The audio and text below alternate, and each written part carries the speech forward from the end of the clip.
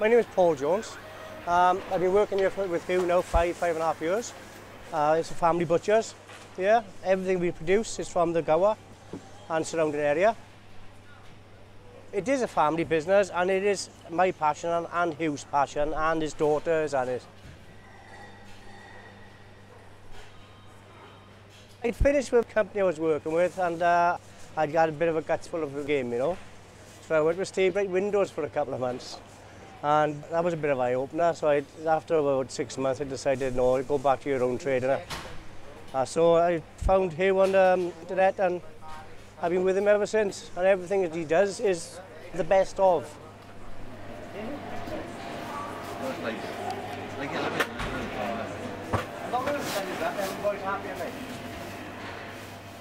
There's two farmers we use for our, our cattle. That's uh, Steve Jones at Gorscoid Farm in Pontlew and Ernest Smith in Oxbridge Bay.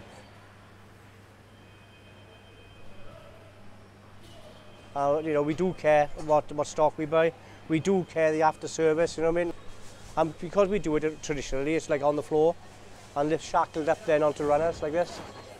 Um, there's more care put into it. It's not like a factory work, you know? It's, um, it's more personal then. And the animals are treated properly. They're not sort of banged about and just shoved into boxes and gone, you know, conveyor belted through, like, you know. We follow the, the, the cattle all the way from the farm and to the slaughterhouse. Care is everything. The care of the animal is everything. We do really care about what we do and what we um, slaughter these animals, you know, to make sure that they are uh, they die in a, in a proper manner then. Today, so brilliant. How many will we? Six. We arrange with the farmer then for the, the stock that we buy be brought to us on the Sunday before the Monday, before the kill. Uh, the farmer will bring it into us then um, Sunday morning. We put it into our lairages, water and feed it.